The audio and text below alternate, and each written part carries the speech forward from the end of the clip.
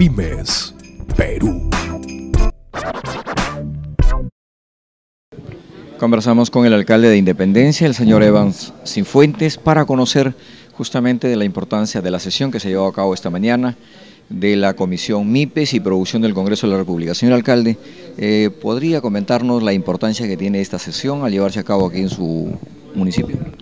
Bueno, verdad que este, reconfortado con tener la presencia de los señores congresistas de la Comisión de Producción en una de sus sesiones descentralizadas eh, tocando el tema referido a los parques industriales.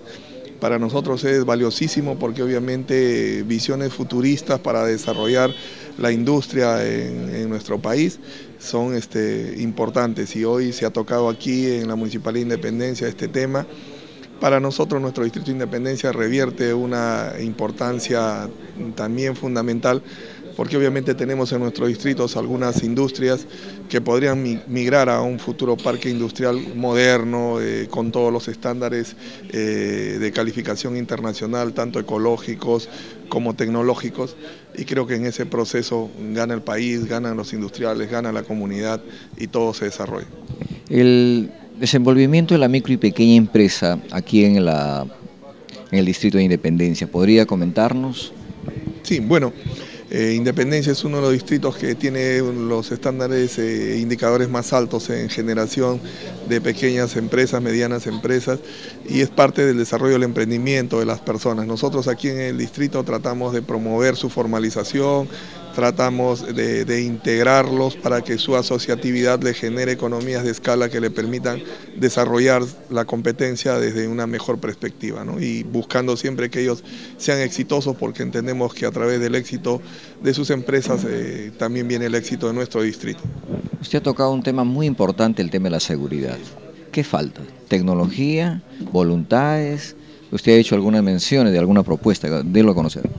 Sí, bueno, en realidad lo que falta es que trabajemos coordinadamente todos, eh, los gobiernos locales, la Policía Nacional y la comunidad también.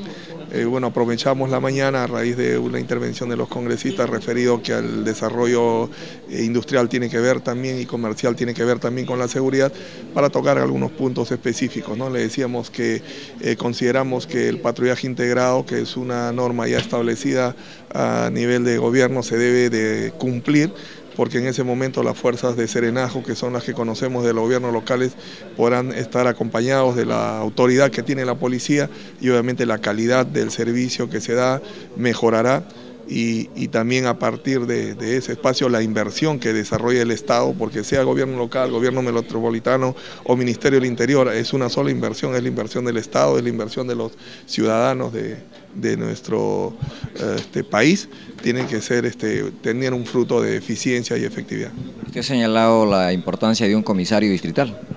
Sí, Independencia tiene cuatro comisarías y si bien a través del CODISEC nosotros nos reunimos y discutimos las políticas y las estrategias en temas de seguridad ciudadana, el hecho real es que la seguridad tiene que aterrizar en, un, en algo tangible, en que el, patrullaje, en que eh, la autoridad esté muy cerca del vecino para alejar a, la delincuencia y a la violencia de, de sus casas, de sus vecindarios y eso solo se puede hacer trabajando con la comisaría. Entonces, este, cuatro comisarios que por su naturaleza cada uno ve su espacio, entonces eh, es más difícil. Con un solo comisario, eh, no es que se anulen las comisarías, sino que exista un, jefe que pueda manejar la, seguridad ciudadana desde el punto de vista distrital, ¿no? que es muy diferente a las unidades especializadas. Pymes, Perú.